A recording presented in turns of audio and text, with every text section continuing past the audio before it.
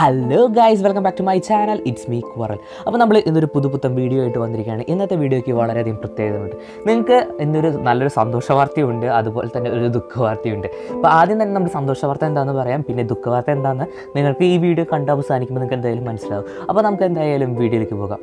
അപ്പോൾ നമ്മൾ ഇന്ന് പറയുന്നത് എന്താണെന്ന് ചോദിച്ചു കഴിഞ്ഞാൽ വേൾഡിലെ ഫസ്റ്റ് വാക്സിൻ റഷ്യ കണ്ടുപിടിച്ചിരിക്കുന്നു. എന്നാണ് റഷ്യ അവകാശപ്പെടുന്നത്. ഇപ്പോൾ നോക്കുകയാണെങ്കിൽ അടുത്ത വീക്കോട് കൂടിയിട്ട് തന്നെ അത് രജിസ്റ്റർ ചെയ്യും. പിന്നെ അത് ഏറെ വൈകാതെ തന്നെ നമ്മുടെ വിപണികളിലേക്ക് ഇത് വരുമെന്നാണ് റഷ്യ പറഞ്ഞിരിക്കുന്നത്.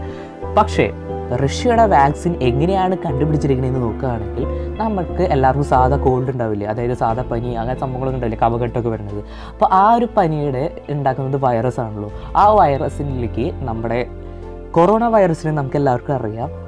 ഒരു കൊറോണ വൈറസിനെ പുറമേ സ്പൈക്ക് പ്രോട്ടീൻ എന്ന് പറഞ്ഞിട്ടുള്ള ഒരു കവറേജ് ഉണ്ട്. സ്പൈക്ക് പ്രോട്ടീൻ മീൻസ് നമ്മൾ അതിന്റെ മേലെ ഒരു സൂര്യരശ്മികൾ പോലെ നിൽക്കുന്ന സംഭവം. അതാണ് സ്പൈക്ക് പ്രോട്ടീൻ അപ്പോൾ ആ സ്പൈക്ക് പ്രോട്ടീൻ എടുത്തിട്ട് ഈ ഒരു വൈറസിന്റെ മേലെ സെറ്റ് ചെയ്യും അതിനുശേഷം അത് നമ്മുടെ ശരീരത്തിലേക്ക് ഇഞ്ചെക്റ്റ് ചെയ്യുകയാണ് ചെയ്യുന്നത്. അപ്പോൾ നമ്മുടെ ശരീരം എന്ത് വിചാരിക്കും? പെട്ടെന്ന് തന്നെ കൊറോണ വൈറസ് ശരീരത്തിൽ കയറിയിട്ട് വിചാരിക്കും? അപ്പോൾ അതിനനുസരിച്ചുള്ള ഇമ്മ്യൂൺ സിസ്റ്റം ഓട്ടോമാറ്റിക്കായിട്ട് ഇമ്മ്യൂണിറ്റി പ്രൊഡ്യൂസ് ചെയ്യും. ആ ഒരു ഇമ്മ്യൂൺ സിസ്റ്റത്തെ ബേസ് ചെയ്തിട്ടാണ് ഇത് ഉണ്ടാവാൻ പോകുന്നത്. അപ്പോൾ അതുകൊണ്ട് തന്നെ ഈ ഒരു വാക്സിൻ അത്രയും സക്സസ്ഫുൾ തന്നെയാണ് ഋഷി പറയുന്നത്. പക്ഷേ ഇതിൽ എന്താണ് നെഗറ്റീവ് വശം എന്ന് നോക്കുകയാണെങ്കിൽ ഇത് ഈ കൊറോണ വൈറസിന്റെ ഈ വാക്സിൻ കണ്ടുപിടിക്കുന്നത് നമ്മൾ നമുക്ക് തന്നെ അറിയാം. ഓക്സ്ഫോർഡ് യൂണിവേഴ്സിറ്റി ഫസ്റ്റ് ട്രയൽസ് കഴിഞ്ഞു സെക്കൻഡ് ട്രയൽസ് കഴിഞ്ഞു തേർഡ് ട്രയൽസ് കഴിഞ്ഞു. അതുപോലെ തന്നെ കുറേ കുറേ ട്രയൽസ് ഒക്കെ ചെയ്ത് കഴിഞ്ഞിട്ടാണ് അവർ ഈ വാക്സിൻ കണ്ടുപിടിക്കുന്നത്.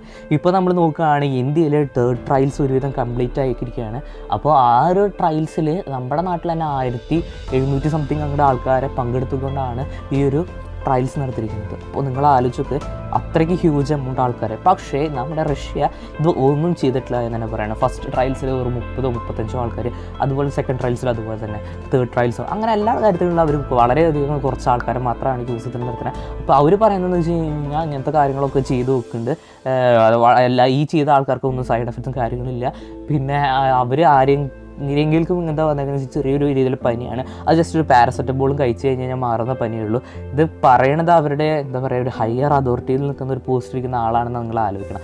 അപ്പോൾ അത്രയ്ക്കും വലിയൊരു ആൾ തന്നെയാണ് ഇതൊരു ഫുൾ പ്രസ്താവനയായിട്ട് വന്നത് ഇത് ശരിക്കും പറഞ്ഞു കഴിഞ്ഞാൽ ലോകരാജ്യങ്ങളുടെ ഈഗോ തന്നെയാണെന്ന് പറയുന്നത് നമുക്ക് ശരിക്കും പറഞ്ഞാൽ കൊറോണ വൈറസിന്റെ വാക്സിൻ കണ്ടുപിടിക്കാൻ പറയുന്നത്. കാരണം എല്ലാ കാര്യങ്ങളിലും നമ്മുടെ ലോകരാജ്യങ്ങൾ ആയുധപരമായിട്ട് സ്പേസ് പരമായിട്ടും എല്ലാത്തിലും പോരടിച്ചുകൊണ്ടിരിക്കുമ്പോൾ ഈ ഒരു വാക്സിൻ ആര് കണ്ടുപിടിക്കുന്നു എന്നുള്ളൊരു ഈഗോ പ്രോബ്ലം തന്നെ ഉണ്ടെന്ന് പറയാം. ശരിക്കും പറഞ്ഞു കഴിഞ്ഞാൽ അമേരിക്കയാണ് എല്ലാ കാര്യങ്ങളും മുൻപതിൽ നിൽക്കാറ്. അപ്പോൾ റഷ്യക്ക് ഇപ്പോഴും ശരിക്കും പറഞ്ഞാൽ സെക്കൻഡറി ആവാൻ മാത്രമാണ് എല്ലാ കാര്യത്തിലും സാധിച്ചുള്ളൂ. അപ്പോൾ റഷ്യയുടെ ഒരു അഭിമാന പ്രശ്നം എന്നുള്ള രീതിയിൽ തന്നെയാണ് അവർ അവരുടെ സയന്റിസ്റ്റും കാര്യങ്ങളൊക്കെ ഇതിൽ ഇറങ്ങി പുറപ്പെട്ടത് അവർ രണ്ട് ഇൻസ്റ്റിറ്റ്യൂഷൻസ് അവിടെ തന്നെയുള്ള തദ്ദേശികമായിട്ടുള്ള രണ്ട് ഇൻസ്റ്റിറ്റ്യൂട്ടുകൾ തമ്മിൽ ചേർന്നിട്ടാണ് അവിടെ ഈ വാക്സിൻ നിർമ്മിച്ചിരിക്കുന്നത് എന്ന് പറയാം.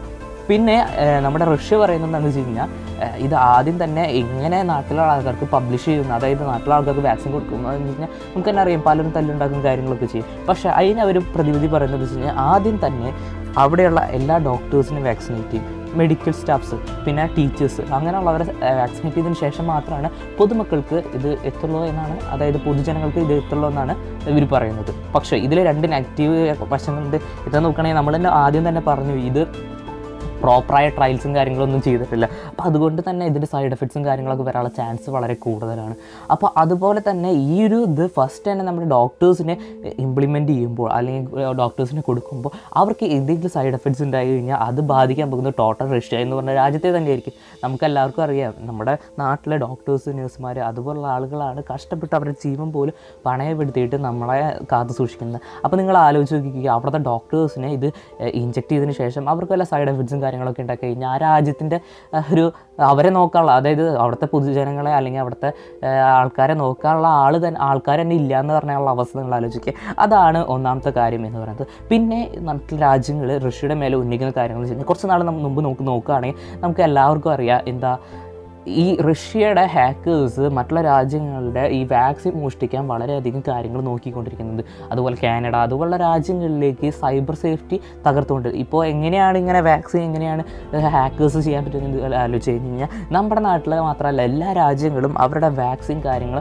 അതിന്റെ ഡാറ്റ കാര്യങ്ങൾ സൂക്ഷിക്കുന്നത് മൊത്തം കമ്പ്യൂട്ടറൈസ്ഡ് ആണ്. അപ്പോൾ അതുകൊണ്ട് തന്നെ ഒരു രാജ്യത്തിന്റെ ആ ഒരു വാക്സിൻ അങ്ങനത്തെ സംഭവങ്ങളിൽ ഇത് ഹാക്ക് ചെയ്യുകയാണെങ്കിൽ ആ രാജ്യത്ത് എങ്ങനെയാണ് ഇത് പ്രവർത്തിപ്പിക്കുന്നത്? ഏതൊക്കെ രീതിയിലാണ് ഈ ഒരു വാക്സിൻ കണ്ടുപിടിക്കാൻ ശ്രമിക്കുന്നത്? അതൊക്കെ അറിയാൻ പറ്റും. അപ്പോൾ അങ്ങനെയുള്ള ഒരു ഒരു ബ്ലെയിം നമ്മുടെ റഷ്യയുടെ മേലെ ഓൾറെഡി ഉണ്ട്. അപ്പോൾ അത് ഏത് രാജ്യം കണ്ടുപിടിച്ചതാണോ ഇത് അടിച്ചു മാറ്റിയതാണോ എന്ന് വരെ എല്ലാവരും ചിന്തിച്ചുകൊണ്ടിരിക്കുകയാണ്. പക്ഷേ എന്തൊക്കെ പറഞ്ഞാലും പ്രോപ്പർ ട്രയൽസ് ഇല്ലാതെ നമ്മുടെ നാട്ടിൽ എല്ലാവർക്കും ഇങ്ങനെ ഒരു വാക്സിൻ പുറത്തേക്ക് ഇറക്കുക എന്ന് പറഞ്ഞു കഴിഞ്ഞാൽ തന്നെ അത് റഷ്യ സംബന്ധിച്ചോളം എന്താ പറയുക വലിയ കാര്യമായിരിക്കില്ല. പക്ഷെ അവർക്ക് അവർക്ക് അവർ വലിയ ഇമ്പോർട്ടൻസ് കൊടുക്കുന്നത് വാക്സിൻ ആര് കണ്ടുപിടിച്ചു എന്നാണ്. നിങ്ങൾ ഞങ്ങളുടെ ചാനൽ ഇതുവരെ സബ്സ്ക്രൈബ് ചെയ്തിട്ടില്ലെങ്കിൽ തീർച്ചയായും സബ്സ്ക്രൈബ് ചെയ്യുക. അതുപോലെ തന്നെ തീർച്ചയായും കമന്റ് ഇടാൻ മറക്കരുത്. കാരണം എന്ന് വെച്ച് കഴിഞ്ഞാൽ നിങ്ങളുടെ ഓരോ കമന്റും നിങ്ങളുടെ സബ്സ്ക്രൈബും ആ കാര്യങ്ങളൊക്കെയാണ് നമുക്ക് നമ്മുടെ പുതിയ പുതിയ വീഡിയോസ് ചെയ്യാൻ നമുക്ക് കൂടുതൽ കൂടുതൽ ഉത്തേജനമായിരിക്കും മാറി മാറുന്നത്. അപ്പോൾ അതുകൊണ്ട് തന്നെ തീർച്ചയായും സബ്സ്ക്രൈബ് ചെയ്യുക.